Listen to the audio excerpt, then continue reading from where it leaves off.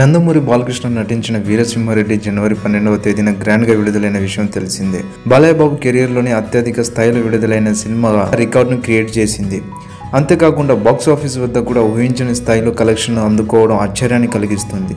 ఇక మొత్తంగా ప్రపంచవ్యాప్తంగా వీరసింహారెడ్డి సినిమా మొదటి రోజు బాక్స్ ఆఫీస్ వద్ద ఏ స్థాయిలో కలెక్షన్ అందుకుందో ప్రపంచవ్యాప్తంగా చూసుకుంటే వీరసింహారెడ్డి సినిమా ఇరవై తొమ్మిది పాయింట్ తొంభై ఐదు కోట్లు షేర్ కలెక్షన్తో పాటు యాభై నాలుగు కోట్లు గ్రాస్ కలెక్షన్ సొంతం చేసుకుంది. ఇక ఈ సినిమా ఓవరాల్గా చేసిన బిజినెస్ డెబ్బై మూడు కోట్లు అంటే డెబ్బై నాలుగు కోట్లు షేర్ అందుకుంటేనే బ్రేక్ ఇవన్నీ సాధించినట్లే లెక్క.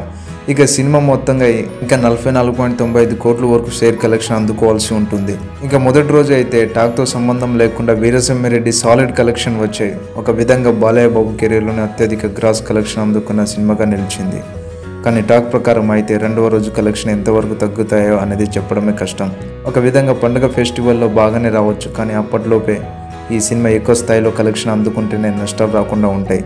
మరి వీరసింహారెడ్డి ఎంతవరకు నిలదక్కుంటుందో చూడాలి.